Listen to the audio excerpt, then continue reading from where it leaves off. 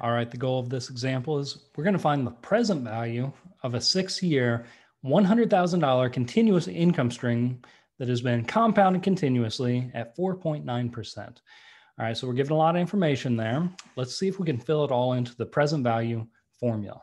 So our present value formula, what that's going to have is our present value is going to be equal to the integral between zero and however long this is going to be. So this is our time frame of six years. So six goes up here. And then our function, this is a continuous function of $100,000 each year. So 100,000 gets plugged in for f of t. This has e raised to the negative.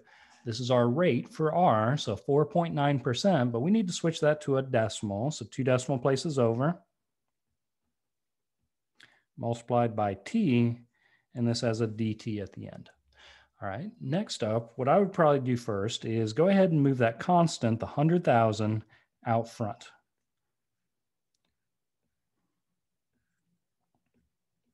So we still have e raised to the power on the inside here, but at least it looks a little bit cleaner. We can always move constants out in front. All right, next up, we'd like to integrate what we have inside here. But to do so, um, we kind of have a function inside of another function.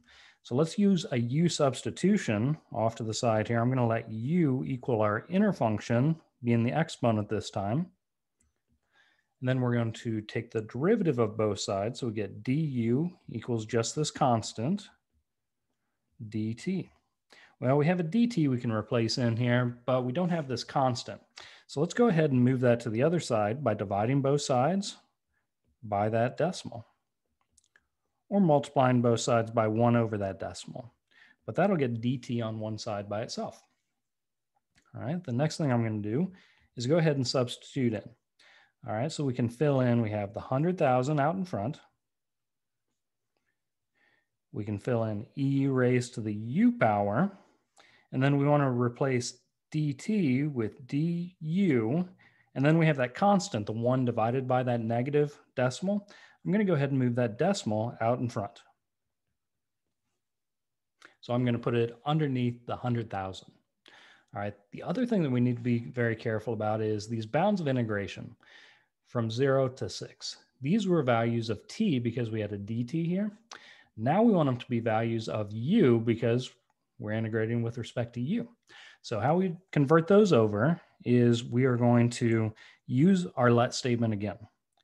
I know a U value that's equivalent to six as a T value is when we plug in six in for T in this equation.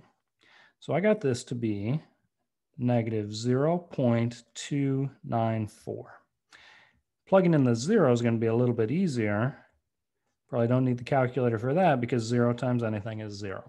So the lower bound is still zero, but we're going to change the upper bound to negative 0.294. All right, now to finish this up, I'm going to bring the constant along.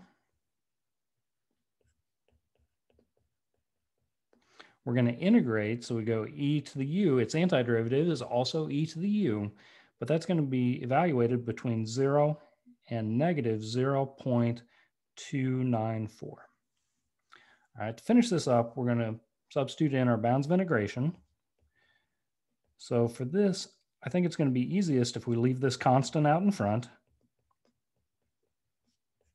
and go e raised to the upper bound minus e raised to the lower bound. Now that e to the zero power is going to be equal to one.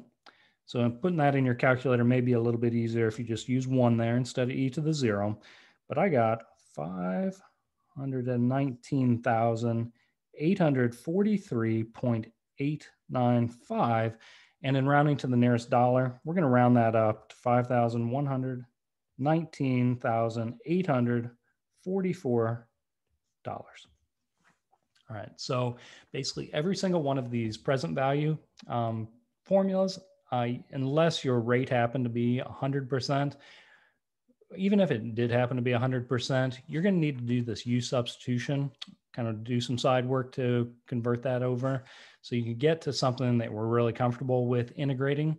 Be careful about the bounds of integration that we would like to change those over to u values as well. All right, hope this helps out as you're figuring out present value. Good luck.